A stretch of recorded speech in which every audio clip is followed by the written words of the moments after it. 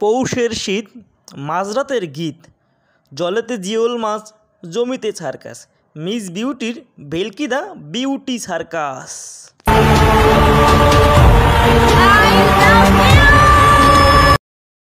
Beauty circus, নামটা একটু কেমন টাইপের না? মানে মনে হচ্ছে সার্কাস নিয়ে গল্প। ঠিকই ধরছেন। বিউটি সার্কাস, নতুন সিনেমা। এই সিনেমাটি মুক্তি পেতে যাচ্ছে তেইশে সেপ্টেম্বর। বিউটি নামে এক নারী।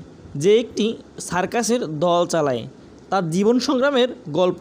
তুলে ধরা হয়েছে এই সিনেমাতে। বিউটি সার্কাস সিনেমাটি মাহমুদ দিদার পরিচালিত। ইমপ্রেস টেলিফিল্ম এর প্রযোজনায় বা এদের ব্যানারে এই বিউটি সার্কাস সিনেমাটা আসতে চলিতেছে। বিউটি সার্কাস সিনেমায় প্রধান চরিত্রে অভিনয় করছেন বাংলাদেশের বিউটি কুইন জয়া আহসান।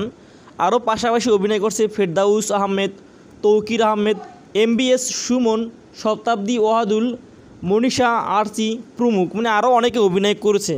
ছবিটি দু হাজার চোদ্দ পনেরো সালের অর্থ বছরে সরকারি অনুদান পেয়েছিল।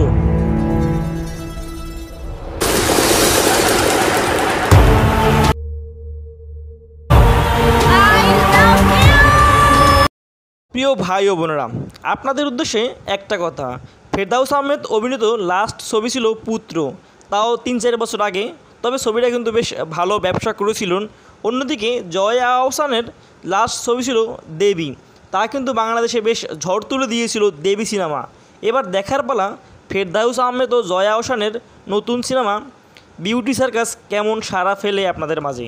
প্রিয় ভাই বোনেরা, তেইশে সেপ্টেম্বর মুক্তি পেতে যাচ্ছে জয়া আহসান ও ফেরদাউস আহমেদ অভিনীত নতুন সিনেমা বিউটি সার্কাস। এই বিউটি সার্কাস নিয়ে আপনাদের কার কী মতামত? কমেন্টস করতে ভুলবেন না কিন্তু। আর একটা কথা, আপনারা যদি আমার চ্যানেলে নতুন হন প্লিজ আমার চ্যানেলটা সাবস্ক্রাইব করে আমাদের সাথে থাকবেন। আবারও আমরা হাজির হব কোনো সত্য ঘটনা সবার আগে। ততক্ষণ ভালো থাকবেন, আল্লাহ হাফেজ।